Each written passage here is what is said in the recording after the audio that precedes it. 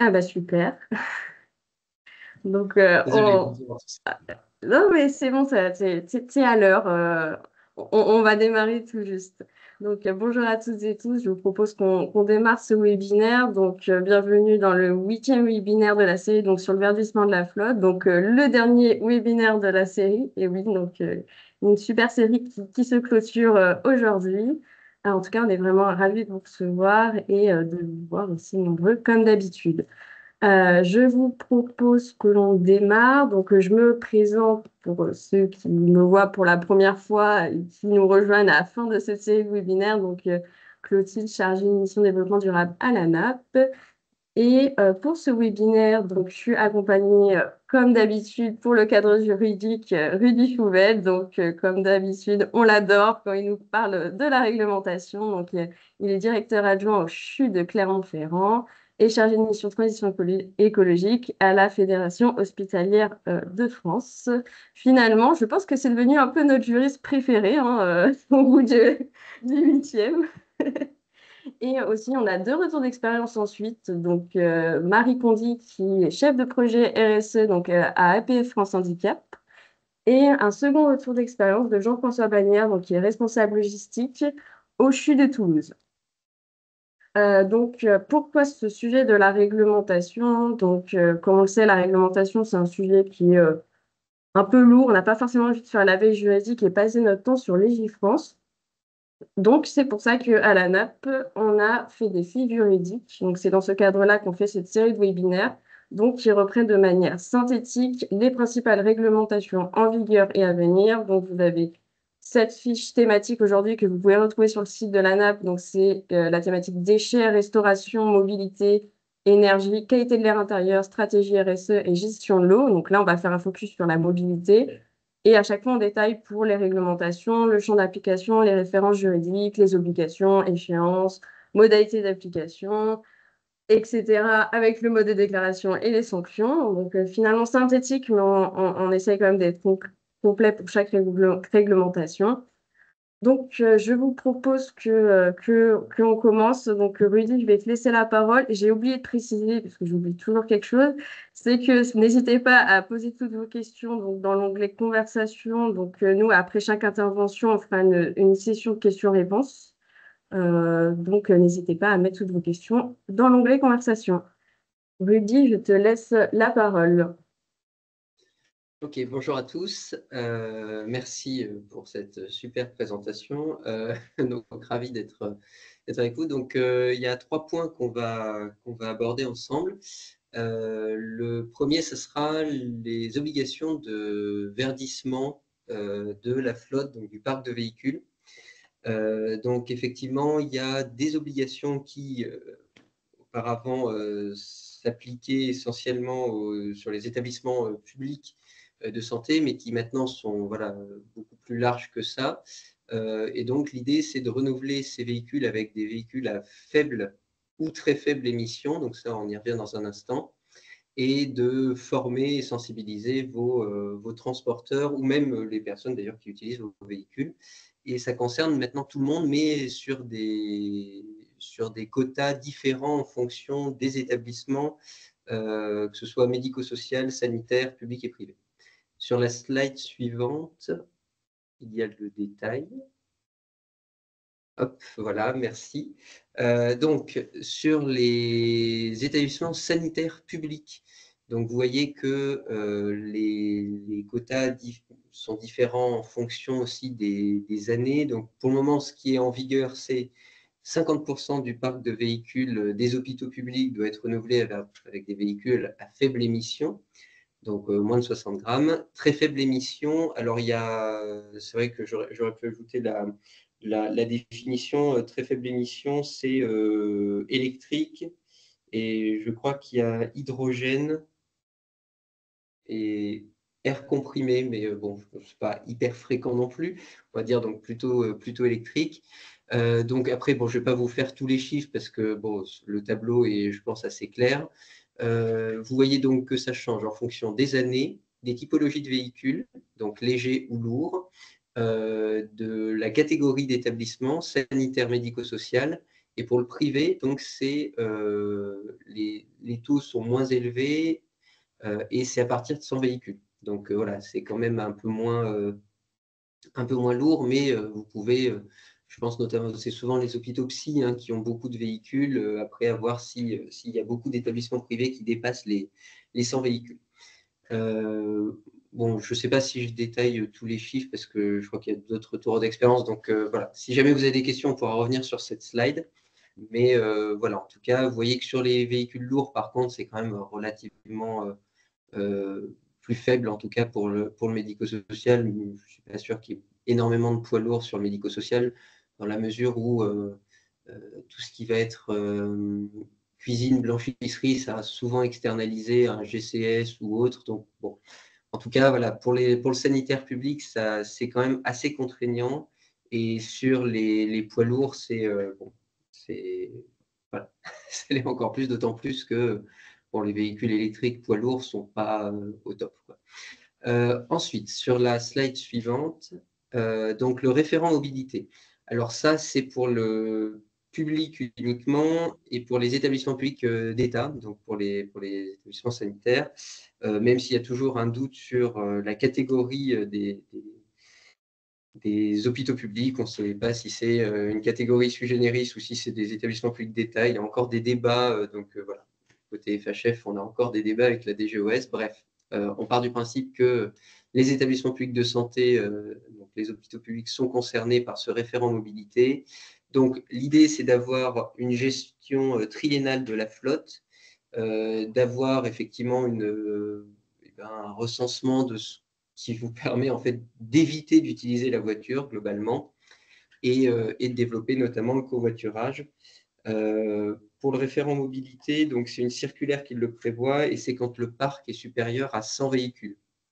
Donc là aussi, euh, bon, je pense que c'est plutôt les gros hôpitaux. CHU, je pense qu'à peu près tous les CHU dépassent 100 véhicules.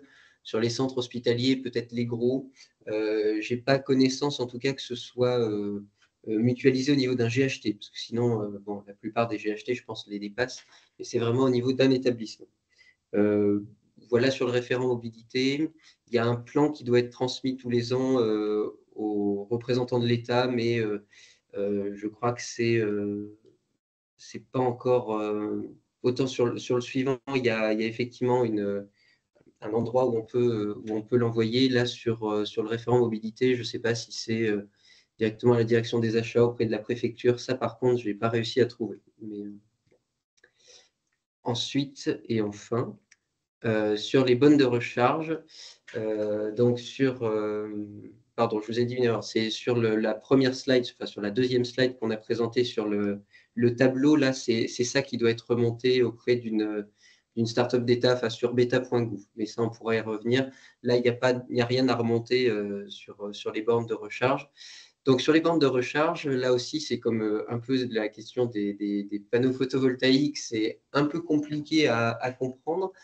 Donc, sur les bandes de recharge, quand vous avez des parkings neufs qui font plus de 10 places, vous devez prééquiper 20% euh, de vos places. Donc, ça veut dire pas les équiper, mais les prééquiper. Donc, il y a une, enfin, sur les articles qui sont en dessous, vous avez la définition de tout ce qui est équipement, prééquipement. Euh, je peux vous retrouver le truc d'ailleurs euh, si vous voulez. il faut faire attention aux emplacements accessibles aux personnes à mobilité réduite. Donc voilà, il faut qu'il y ait au moins 2% de ces emplacements qui soient accessibles PMR. Il faut qu'il y ait au moins un équipement euh, de la place, euh, pardon, il faut au moins qu'il y ait un emplacement PMR équipé euh, et au moins deux quand vous avez des parkings de plus de 200 places. Donc vous voyez qu'il y a une différence entre le pré-équipement que vous pourrez déployer et équiper le jour venu et l'équipement lui-même qui est beaucoup moins exigeant pour l'instant. Donc ça, c'est pour les parkings neufs ou qui font l'objet de travaux. Et pour les parkings existants, donc là, ce sera ben, dans six mois, euh, il faudra que 5% des places soient équipées et avoir un point de charge par tranche de 20 emplacements supplémentaires. Euh, il y a quand même plusieurs, euh, plusieurs garde-fous, on va dire, et c'est notamment la phrase en dessous, c'est que si le coût des installations représente plus de 7% du coût total de la rénovation, vous pouvez être exonéré de cette obligation. ce qui risque sans doute d'arriver plus souvent qu'on le pense. Voilà en tout cas sur les références juridiques, on les a mises en dessous. là, c'est le code de la construction et de l'habitation. Il n'y a que quatre articles, donc si vous voulez jeter un œil, vous pouvez.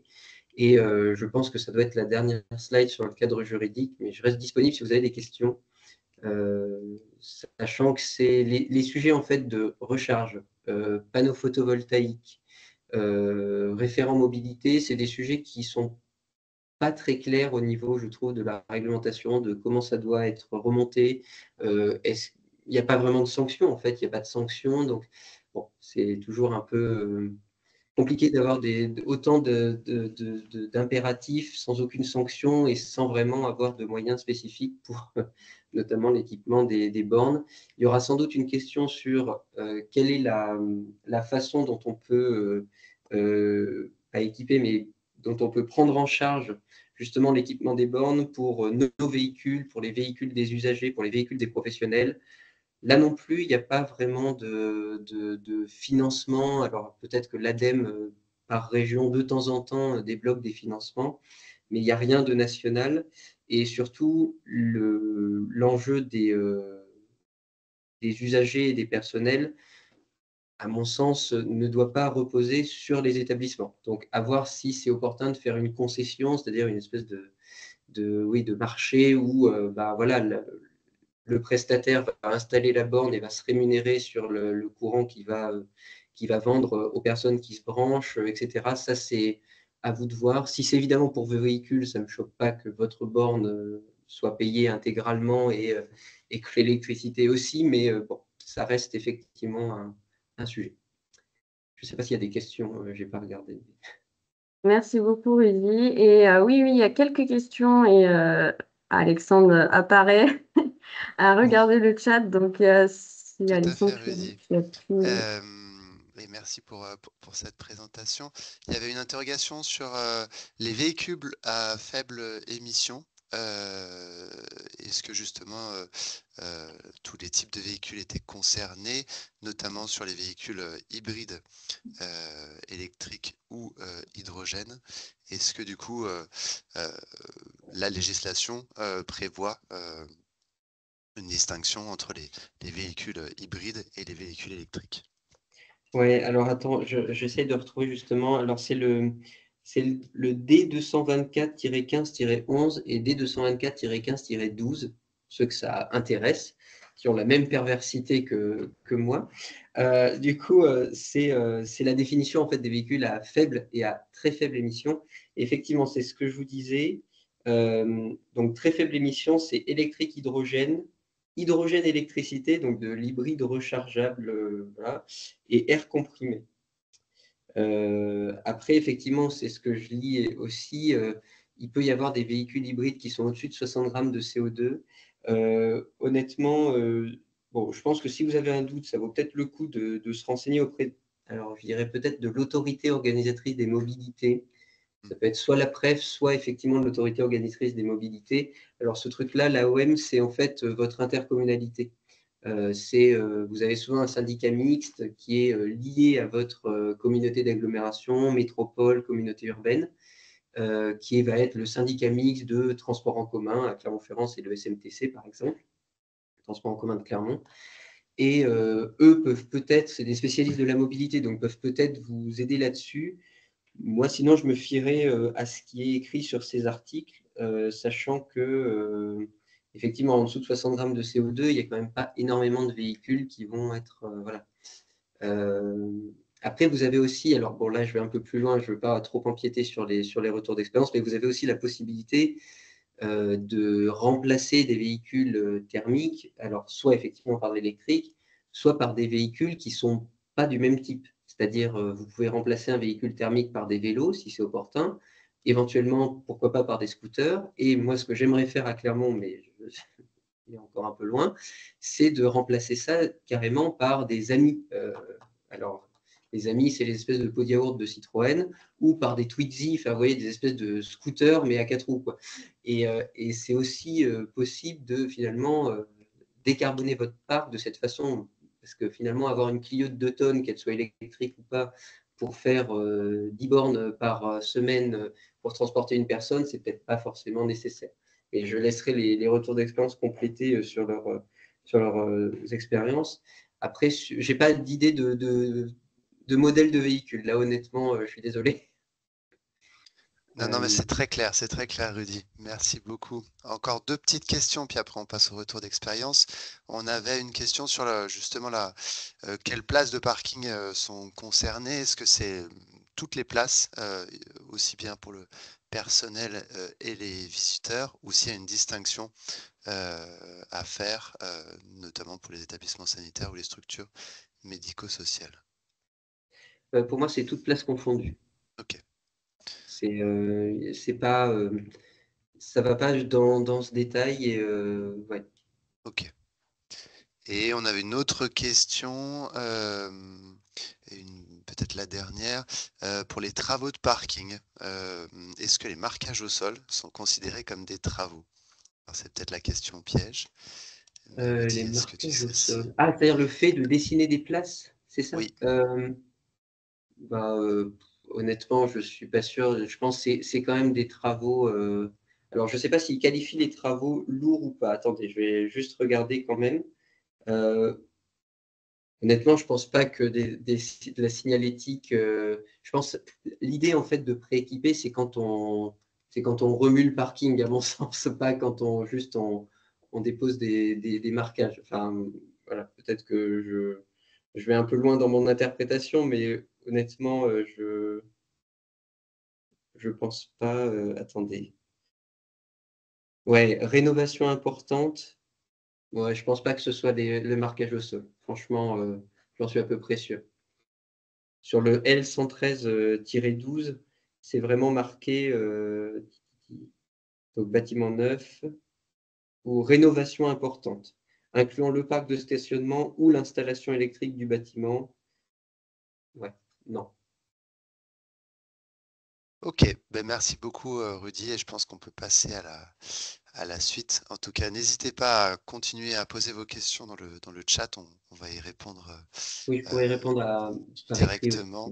Et vous pouvez aussi lever la main dans les différentes fonctionnalités en haut de votre écran pour euh, poser votre question de vive voix et qu'on puisse échanger ensemble on passe à la suite. Euh, donc, on va passer au prochain, donc euh, au premier retour d'expérience. Donc, euh, Marie, je vais te laisser la parole. Donc, Marie de APS France Handicap sur le verdissement de la flotte. Tu me dis quand je passe les slides. oui, alors j'ai demandé le contrôle de la présentation, si c'est possible. alors, je ne sais pas du tout comment faire. D'accord, bon, c'est pas grave. Euh, ah si, si, c'est bon. On va essayer comme ça. Normalement, c'est bon. Ok, alors du coup, normalement, que ça passe de mon côté, je crois que c'est bon. Oui, euh, donc, voilà, j'ai fait un petit test.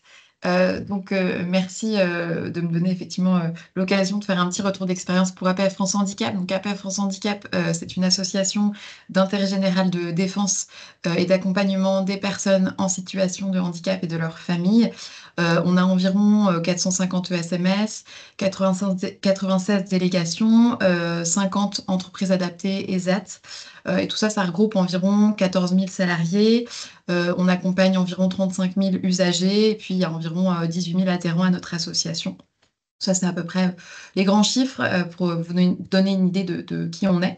Euh, alors ensuite, on a euh, mené donc depuis 2018 vraiment tout un travail de réduction de notre empreinte à travers une démarche qui s'appelle la démarche résonance. Vous envoyez le logo qui est sur cette slide-là, Agir pour un avenir durable.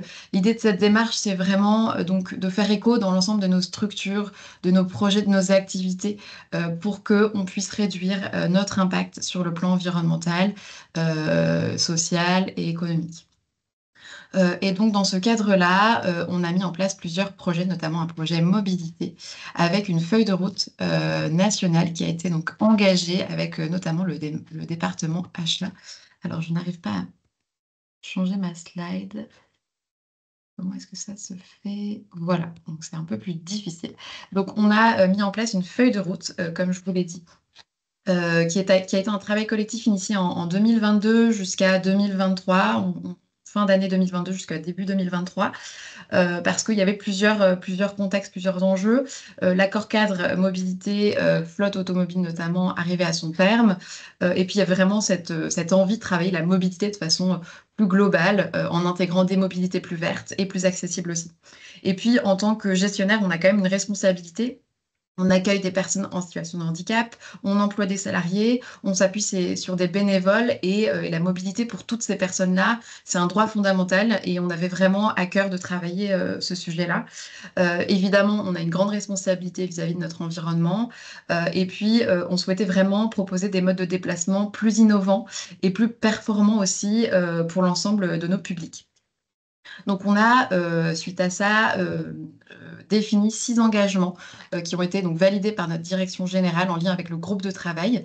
Euh, le premier engagement, c'est celui de stopper 100% des renouvellements de véhicules diesel à compter donc de janvier 2023, donc à partir euh, du démarrage du nouvel accord cadre. Ensuite, c'est de, donc de rentrer dans la loi LOM, hein, c'est-à-dire de suivre les objectifs de la loi d'orientation des mobilités avec donc 10% de véhicules alternatifs en 2023 et donc 20% en 2024. Alors pour les pourcentages, on ne les respecte pas encore, mais voilà, on souhaitait vraiment s'aligner sur, euh, sur cette loi-là de déployer 50% d'enquêtes mobilité d'ici à fin 2023 avec un objectif de 100% d'ici à 2025 de multiplier par deux le recours au forfait mobilité durable. Euh, on était donc à 500 salariés en 2022, euh, on attend les chiffres pour 2023, mais voilà, l'idée c'est vraiment d'encourager un maximum cette indemnité offerte euh, à nos salariés. De référencer aussi des prestataires innovants en matière d'accessibilité comme Omni, Bénur, Velio ou d'autres. Et donc d'avoir un ambassadeur, un référent mobilité au niveau des régions. Voilà pour les engagements nationaux. Ensuite, je voulais vous faire un petit retour d'expérience euh, donc euh, euh, d'un pôle qui se situe dans le 62, un pôle jeunesse 62, qui regroupe donc trois CESAD, donc trois services à domicile et donc deux IEM, deux instituts d'éducation motrice. donc c'est un parc de 44 véhicules de service pour environ 140 jeunes qui effectuent vraiment des, tournées régulières, journalières, donc environ 33 tournées par jour. Euh, au niveau du contexte euh, de cette flotte, euh, et du verdissement, donc un contexte, comme vous le savez, environnemental très fort, réglementaire aussi, on, l'a vu juste avant, qui nous incitait vraiment à, imaginer une flotte donc plus verte pour, pour ce pôle. donc le renouvellement de l'accord cadre au niveau national, la participation du responsable logistique du pôle enfance qui, euh, a vraiment euh, participé euh, de façon très sérieuse à ce groupe de travail, en proposant des idées, en faisant vraiment des, retours d'expérience sur les freins et les besoins aussi du pôle. donc, ce, parc était composé de véhicules vraiment vieillissants avec un suivi, une maintenance vraiment chronophage pour le responsable et l'ensemble des directions. Euh, et puis, il y avait aussi ce besoin de mutualiser un parc, euh, puisque euh, était sur des établissements qui ne fonctionnaient pas en pôle et, qui donc allaient effectivement migrer vers vraiment une mutualisation, un partage des moyens et notamment au niveau des véhicules. Au niveau des actions mises en place face à ce contexte, euh, donc la nécessité donc, de remplacer 27 euh, véhicules par des Juke, donc ce sont euh, un modèle de Nissan full hybride adapté.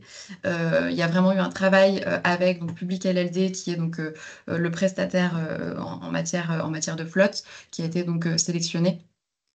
pour vraiment réfléchir à des véhicules les plus adaptés pour les trajets donc, des, professionnels de santé. Euh, voilà, donc des, adaptations de véhicules en fonction des tournées euh, avec donc Public LLD et Fréquin, les spécialistes de la flotte. Euh, il y a vraiment eu une réflexion autour de l'implantation des, des prestataires, des constructeurs pour que ce soit le plus simple possible en matière de maintenance. Et puis, il y a aussi eu en parallèle des, la, mise en place de cartes Edenred pour aller donc à la pompe à essence de, façon euh, beaucoup plus simple euh, euh, pour les, professionnels de santé. Donc en termes de résultats, euh, les avantages euh, donc de ce, de ce verdissement sont, multiples, hein. notamment l'harmonisation, euh, l'optimisation et la mutualisation des moyens avec un interlocuteur dédié hein, qui est Public LLD et ça, ça vraiment ça a changé la vie de, du responsable logistique. bien sûr, une amélioration des conditions de travail des salariés avec une flotte donc, plus performante, moins de casse, voilà des véhicules vraiment plus agréables à la conduite. Euh, une maintenance et un suivi facilité hein, avec un interlocuteur, avec des outils vraiment euh, efficients. Des coûts maîtrisés, donc euh, il y a eu une, augmentation par rapport à l'ancienne flotte de 100 euros par mois, mais en termes d'efficacité, il n'y a, y a, vraiment pas photo, puisque les véhicules ne sont pas chez le garage, chez le garage, ils ne vont pas au garage tous les quatre matins, donc il y a vraiment Euh, quand même un investissement plus important, euh, mais on s'y retrouve euh, au niveau du ROI. Donc un meilleur impact CO2 bien sûr, avec aussi une possibilité d'éco-conduite en lien avec le prestataire. une sécurité bien sûr qui, s'est accrue avec voilà, des, des, véhicules aussi plus ergonomiques, accessibles aussi, ça c'était vraiment un prérequis pour nous, avec des pneus neige, avec un SAV aussi au niveau du constructeur, enfin voilà, tout, un dispositif aussi beaucoup plus pratique. Et puis bien sûr l'image de marque hein, améliorée aussi au niveau de notre association. Au niveau des freins, euh, donc une, surcharge hein, euh, qui était à noter euh, au niveau de, la personne qui devait vraiment gérer l'ensemble de cette flotte. Hein. ça, c'était vraiment l'un des aspects de, cette mise en place. aussi une disponibilité des véhicules et date de livraison qui n'était pas garantie. Hein. Il a fallu vraiment attendre et être patient pour la livraison de ces véhicules. Euh, une conduite du changement aussi difficile au niveau euh, des personnels, puisque euh, on était vraiment sur des flottes qui étaient par établissement et on est passé vraiment sur une mutualisation beaucoup plus large au niveau des, cinq établissements. Donc il a fallu vraiment apprendre à, davantage partager, mutualiser les véhicules. des nouvelles modalités de reprise entre les fournisseurs qu'il fallait donc vraiment réadapter, repenser. Euh, voilà au niveau des freins. Et puis enfin sur l'après, euh, donc il y a quand même plusieurs euh, choses qui vont être mises en place. Donc des réunions aussi pour fluidifier l'ensemble des process. Hein. Ça se met en place tranquillement, mais voilà l'idée c'est vraiment de travailler davantage en collectif avec les directions, avec les personnes qui sont aussi mobilisées autour de cette flotte. le marquage du logo au niveau des véhicules, euh, le suivi, l'évaluation euh, de nouveaux services, hein, puisque euh, puisque il y, a encore plein de possibilités avec Public LLD, plein de services disponibles pour être encore plus efficient.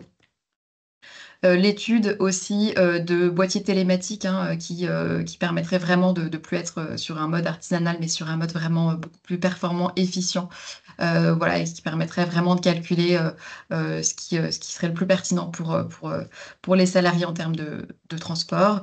Et puis voilà, une sensibilisation à l'éco-conduite qui va être menée avec des, des référents conducteurs qui auront été identifiés. Il y a aussi le test de l'autopartage, donc proposé aussi par, par le, prestataire, qui permettra aussi d'aller vraiment au bout d'une démarche et, de, réfléchir à encore une meilleure optimisation de l'ensemble de ces trajets de ces véhicules. J'espère avoir été euh, pas trop longue. Euh, voilà, si vous avez des questions, n'hésitez surtout pas. Super, merci beaucoup Marie pour ce retour d'expérience. Euh, en effet, il y a quelques questions dans le chat. la première question, c'est quel est le prix moyen du jour full hybride annuellement? Alors annuellement, je ne sais pas, mais je sais que c'était 350 euros par mois pour chaque véhicule. Donc, fois 12 quoi. Et justement, en lien avec ça, il y a une question qui était, c'est quelle émission de CO2 pour les Nissan Juke?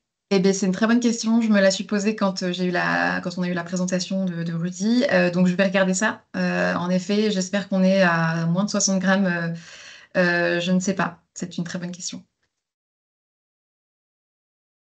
Alexandre, je ne sais pas si oui, il y avait une question sur le quel outil avait été utilisé, Marie, pour euh, permettre la mutualisation des véhicules.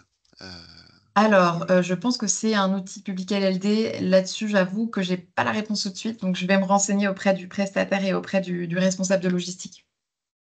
Super.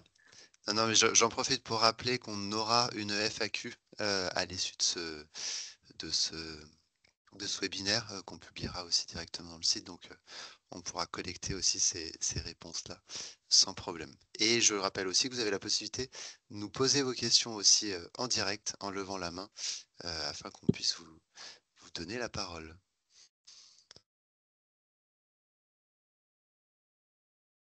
Alors, eh ben, je crois qu'on a fait le tour des questions.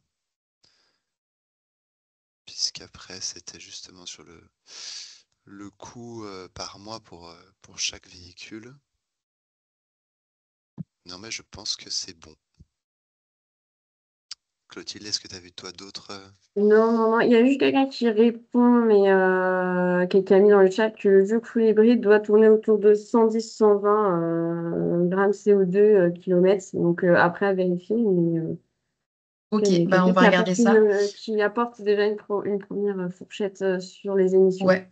C'est intéressant. Après, l'avantage d'être avec LLD, avec Public LLD, c'est que la flotte peut être euh, euh, modifiée effectivement en fonction de la réglementation, en fonction des besoins. Alors, ça avait été vraiment, euh, regard, enfin, il avait vraiment été question de regarder les, véhicules les plus adaptés en fonction des tournées des personnes. Euh, et que euh, anciennement il y avait aussi des, véhicules qui étaient électriques euh, et qui correspondaient pas forcément aux besoins des salariés. donc je pense que ça s'est fait en connaissance de cause, mais ce serait intéressant d'en discuter avec Public LLD pour être sûr qu'on respecte la réglementation.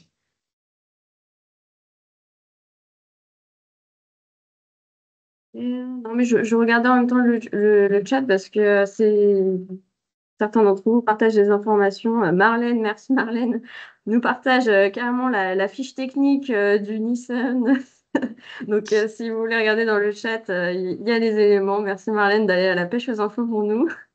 Peut-être une dernière question, Marie, sur justement le, la logistique par rapport aux véhicules. Est-ce qu'ils reviennent chaque soir sur le site ou est-ce qu'ils peuvent atterrir au domicile des salariés? Comment est-ce que ça se, alors normalement, euh, ils sont censés euh, euh, revenir au niveau des établissements, mais en fait la réalité fait que parfois c'est c'est absolument pas pratique pour eux de, de, déposer le, véhicule au niveau de l'établissement. Donc en fait il y a une sorte de d'acceptation que certains véhicules restent au domicile lorsque c'est beaucoup plus simple pour tout le monde. Ok. Très bien. Ok, très bien. Super. Bah, merci beaucoup, Marie. On va, on va passer à la suite et on va passer au retour d'expérience de, de, Jean-François, donc euh, responsable logistique au, au CHU de au Toulouse. Euh, Jean-François, est-ce que c'est bon pour toi? Est-ce que tu es Oui. Voilà. Bonjour à tous. Donc Jean-François Bagnard, responsable logistique au, au, CHU de Toulouse. Donc nous, on a fait le choix de passer à la flotte, euh, alors pas toute électrique, mais en grande partie électrique. Euh, depuis maintenant un an. Donc, euh, comment est-ce qu'on a, on, a fait? Alors, Clotilde, si tu peux passer à la, semaine d'après. Donc, on, a agi en trois étapes. Euh, tout d'abord, on a équipé l'ensemble de nos véhicules de, de boîtiers de télématique embarqués, ce qui nous a permis, dans un premier temps, de réduire notre parc de véhicules en fonction des usages. ensuite, on a créé des poules de véhicules en autopartage par rapport justement euh, aux, usages et plutôt au, non-usage de certains véhicules. Et ça nous a permis ensuite ben, justement de réaliser cette transition euh, écologique et en, basculant électrique euh, parce qu'on a pu étudier les, différents kilométrages parcourus journalièrement par l'ensemble de la flotte de véhicules du CHU.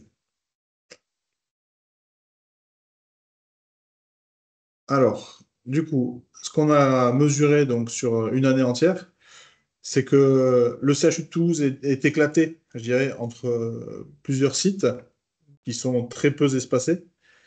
Et donc, on a remarqué qu'il bah, y a une grosse partie de nos véhicules euh, qui réalisaient des trajets intersites, donc c'est-à-dire des très courtes distances.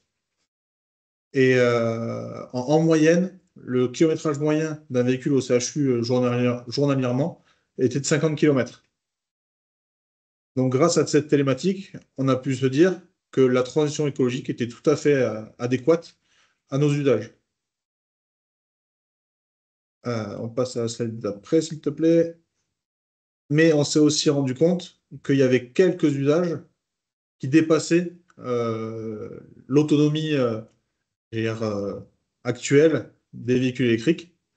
Donc, pour réaliser cette transition, on a pris le, point, enfin le la, partie de faire aussi des poules de véhicules longue distance, donc thermiques, qui permettent à nos utilisateurs d'avoir soit pour les courtes distances des véhicules 100% électriques, soit pour les longues distances, donc par exemple pour aller à Bordeaux, ça nous est arrivé euh, il y a peu de temps, euh, des poules thermiques qui permettent justement euh, ces longues distances, sans avoir à, se casser la tête pour savoir comment est-ce qu'ils allaient recharger. Parce que contrairement à, l'intervention de tout à l'heure, nous, les véhicules dorment tous les soirs au CHU. Personne ne rentre avec les véhicules à domicile le soir. Donc la question des bornes de recharge n'a pas été une question, enfin, le rechargement à domicile n'a même pas été une question, parce que tous les véhicules euh, dorment à l'hôpital. Donc, on a largement le temps de recharger sur des bornes standards, c'est-à-dire en 3 kg, euh, nos véhicules. Donc, pour faire la transition, nous avons, fait un test avec euh, des vélos électriques, des Citroën Ami et des Dacia Spring. Qui, alors, je, préfère le préciser, à l'époque, les Dacia Spring étaient encore euh, on pouvait encore avoir le bonus écologique euh, de 3 000 euros, ce qui n'est plus le cas aujourd'hui vu qu'elles sont produites euh, hors de l'Union européenne. Donc aujourd'hui, on ne serait peut-être pas parti sur les Dacia, mais à, l'époque, ça a été le, choix. Donc nous avions 80 véhicules à remplacer. sur les 80 véhicules, grâce à la rationalisation du parc, nous avons remplacé par 56 Dacia Spring, 12 Citroën Ami, donc ce qui fait 68, euh, plus, euh, plus des vélos électriques qui ont été mis aussi en autopartage. Donc on est passé de 80 véhicules à, en comptant les vélos à 70 véhicules. Euh, nous avons créé trois poules d'autopartage, un sur le site de Purpan, un sur le site de l'Hôtel Dieu où il y a toutes les directions, et ensuite un sur le site de Rangueil-Larré, qui est un site déporté. Euh, au, bout d'un an, au bout d'un an, nous avons constaté que euh, l'utilisation des vélos électriques était confrontée à un gros problème. Déjà le coût, les tarifs sont nettement plus élevés que la location d'une Citroën Ami. Et, et ensuite, les usages, finalement, les gens n'utilisaient que très peu les vélos. Seules les personnes qui utilisaient des vélos personnellement utilisaient également des vélos qu'on leur mettait à disposition. Donc, vu le coût que cela représentait, euh, on a décidé bah, d'arrêter l'expérience euh, sur les vélos électriques.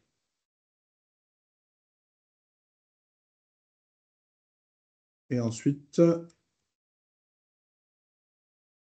donc sur les 75 véhicules euh, type Renault Capture, donc il y en avait 23 qui, qui, parcouraient plus de 100 km par jour, 36 qui parcouraient entre 50 et 100 km et 14 moins de 50.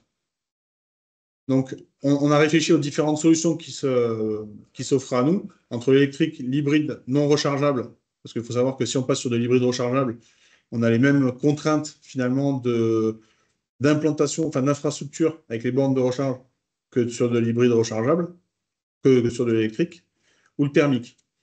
Aujourd'hui, sur le thermique, on avait des offres euh, de location avec notre partenaire Lisplan qui était imbattable parce que quand on a pris les, donc, les thermiques qui sont des Renault Capture chez nous, euh, on, c'était les fins de série. Donc on les payait 130 euh, euros par mois, ce qui aujourd'hui est, imbattable, contrairement à une Dacia Spring qui nous revient à 300 euh, euros par mois.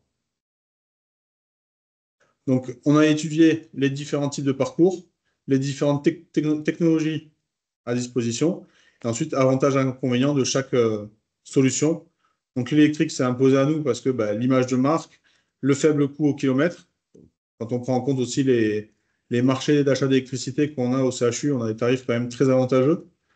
Et vu que nous rechargeons uniquement la nuit, ça nous permet d'avoir des coûts euh, très faibles d'utilisation.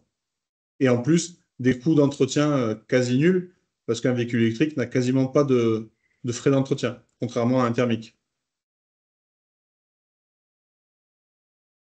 Euh, donc voilà, donc, comme je vous disais tout à l'heure, sur la transition écologique, sur les 75 euh, véhicules que nous avons renouvelés, nous sommes partis donc sur 56 voitures électriques, donc des Dacia Spring, 12 voitures sans permis, donc des Citroën Ami. Alors, à savoir que ce n'est pas tout à fait sans permis, il faut avoir le BSR. Donc, comme pour conduire un 50 cm3. Donc, il faut quand même quelque chose. Et 7 véhicules thermiques. Donc, on a prolongé nos, Renault Capture pour tout ce qui est long trajet. Voilà. Euh, donc on a fait un, on, avait fait une, extrapolation pour savoir euh, d'un point de vue budgétaire euh, vers quoi nous allions tendre. Donc vous avez le tableau en présentation. Donc effectivement, si nous étions restés purement sur Renault, Renault Capture, effectivement, nous avions des tarifs relativement imbattables. Mais vu que nous devions, ben, selon ce qu'a présenté Rudy avant, réaliser une certaine transition écologique, donc minimum 50% de la flotte, on a dit à faire l'investissement, autant tout basculer. Donc on a décidé de passer sur les Dacia Spring et les Citroën Ami parce que les, les Renault Zoé étaient bien trop chers à, l'époque. Et c'est encore plus euh, vrai aujourd'hui. Tout en conservant une solution de télématique euh, embarquée, qui a notre sens aujourd'hui. Donc on a un seul prestataire qui nous fait aussi bien télématique et autopartage. Chez nous, il faut savoir que l'autopartage, est géré euh, via des cartes professionnelles et une plateforme de réservation web qui permet à tout à chacun de réserver, ben, selon ses besoins, les véhicules et ensuite de les ouvrir avec sa carte professionnelle. Donc les gens sont 100% autonomes sur l'utilisation des véhicules. On peut passer à la slide d'après, s'il te plaît. Et du coup, ce qu'on s'est, on s'est rendu compte que finalement, en, en, basculant sur les Dacia Spring et Citroën Ami, on arrivait à un budget ISO en basculant sur de l'électrique, grâce notamment aux économies euh, de carburant. Quand on sait qu'on est arrivé à un moment à presque 2 euros, à plus de 2 euros le litre de, gasoil, euh, ça a été vite, euh, vite vu la transition, je dirais quand on sait qu'on arrive à avoir des tarifs presque négatifs en électricité en heure creuse avec les tarifs uni-achat. Voilà. Merci. On a vu qu'il y plein de questions. Jean-François, pour, euh, pour, cette présentation. Euh, j'ai vu quelques questions défiler quand même. Euh, Alexandre a dû les recenser. Tout à fait, merci beaucoup Jean-François. On a une petite question mais aussi de, précision sur les boîtiers télématiques. Euh, Jean, est-ce que tu peux nous préciser peut-être euh, pour l'ensemble des participants à quoi ça sert? Et on a une question associée. Comment a été mis en place justement la, télématique embarquée vis-à-vis des agents? Alors, la télématique embarquée, à quoi ça sert? La télématique embarquée nous permet en fait, alors on a plusieurs euh, options. Donc nous, on a pris notamment la géolocalisation. Donc on sait où est le véhicule, ça nous permet d'avoir toutes les informations euh, du véhicule en temps réel, donc, euh, sa position, sa consommation électrique, la, bah, ou le niveau de carburant, du moins, que ce soit aussi bien véhicule électrique que thermique, ainsi que les différents kilomètres parcourus par jour, euh, l'odomètre, donc c'est-à-dire le compteur kilométrique du véhicule, qui nous permet d'anticiper notamment tout ce qui est révision. Donc c'est vraiment en fait à distance, on fait remonter toutes les informations du véhicule pour le gestionnaire de parc. Et après, en plus, on a couplé à ça euh, la gestion de l'autopartage, via une plateforme web qui nous permet bah, d'avoir des poules de véhicules en autopartage. Et comme ça, les gens sont totalement autonomes sur leur réservation. Donc, ils ont une, application euh, smartphone ou euh, sur le web. Et comme ça, ils peuvent gérer selon leurs besoins les véhicules. Merci beaucoup Jean-François. Euh, d'autres questions, mais plutôt sur, le, sur les, financements obtenus. Euh, on avait une remarque du, dans le chat. apparemment, il n'y a plus de bonus écologique. Tout à fait. Pour les, pour les entreprises depuis février, mais est-ce que vous avez pu euh, avoir un, financement régional euh, sur les vélos électriques euh, et, peut-être sur les autres véhicules électriques? Non, alors on a eu les bonus écologiques, comme je disais, sur Dacia Spring, parce que c'était encore le, valable à cette époque-là ce qui a été avant le changement de réglementation sur la production européenne, mais aucune aide, on n'a eu aucune aide de la région ni de, personne, ni même pour les bornes, parce qu'il me semble que les, aides sur les bornes sont sujettes à la mise à disposition de personnes extérieures, c'est-à-dire ou, des employés. Donc, c'est-à-dire que si euh, nous, notre choix a été fait de garder les bornes à usage exclusif des véhicules du CHU. Donc à ce compte-là, il n'y a pas d'aide. Mais si on avait décidé de les mettre à disposition euh, des agents ou même de personnes extérieures, là, on aurait pu avoir des, aides.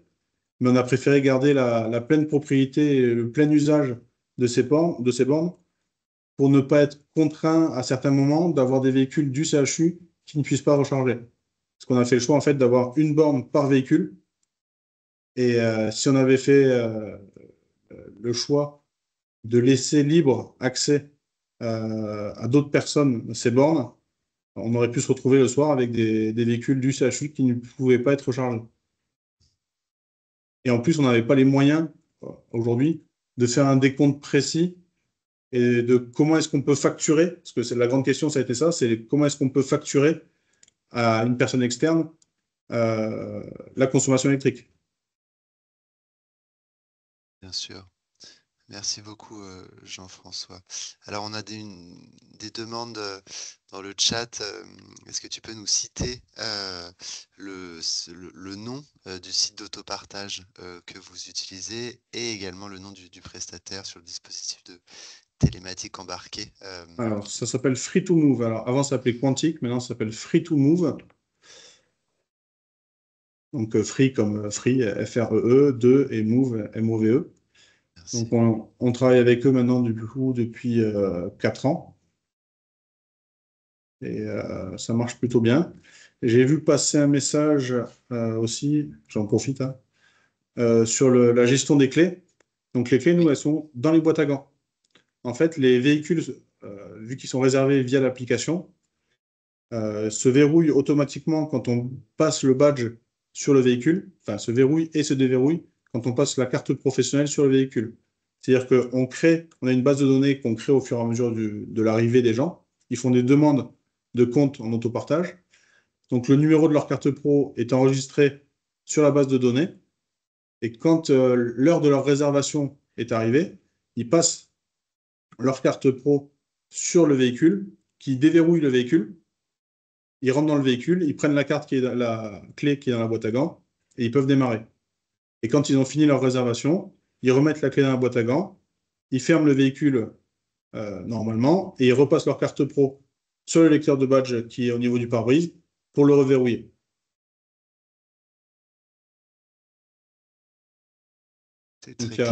à, mon sens, c'est quelque chose de très simple. Alors, je dirais c'est très simple pour tous les véhicules, sauf les Citroën Ami. Je m'explique. Euh, le problème de la Citroën Ami, c'est qu'elle n'a pas de fermeture centralisée. Alors, il faut savoir que euh, donc, on a arrêté les vélos parce qu'il y avait très peu d'utilisation. Les Citroën Ami ne sont pas très bien accueillis parce que euh, bah, c'est entre guillemets des pots de yaourt plutôt inconfortables et les gens ne se sentent pas tout à fait en sécurité également à l'intérieur. Parce que, bah, effectivement, c'est des tubes en acier et, donc ils se disent au moindre accident, je me retrouve plié à l'intérieur. Donc on n'a on pas, on pas une unanimité sur ces véhicules. Contrairement au Dacia Spring. Merci beaucoup. Alors, on avait une main levée. Euh, alors, monsieur ou madame Thomas, je vous, vous avez la possibilité voilà, de, de prendre euh, Merci, euh, merci Thomas Short, responsable logistique à l'hôpital de Salon de Provence dans les Bouches-du-Rhône. Euh, c'est moi qui posais la question hein, sur la gestion des, cartes et merci en tout cas pour votre retour. Du coup, euh, comment vous gérez avec les, citoyens amis qui n'ont pas de centralisation au niveau de la gestion de, la carte? Alors, on a fait le, pari de laisser le véhicule ouvert. Donc, ça marche plutôt pas mal parce que bah, finalement, les gens laissent le véhicule, le véhicule reste en permanence ouvert donc c'est un, risque. Hein. mais les clés restent dans le véhicule. Et vu qu'il est géolocalisé, on n'a pas de souci de, de vol ou de perte de véhicule. Parce que dans tous les cas, en fait, les personnes vont continuer à badger au début de leur réservation. Ça va activer ou désactiver l'antidémarrage. Donc, c'est le moyen de sécurité qu'on a trouvé pour, pour ne pas se faire voler les, les Citroën Amis. Merci beaucoup pour euh, votre réponse. De rien. N'hésitez pas encore à, lever la main si d'autres euh, personnes souhaitent aussi euh, poser des questions en direct. Et je fais le tour du chat, mais je crois qu'on a répondu à la plupart. Et après, si certains veulent les coordonnées du prestataire, il n'y a pas de souci. vous, les, vous les partagez et puis organiser aussi éventuellement la, mise en relation euh, avec nos intervenants.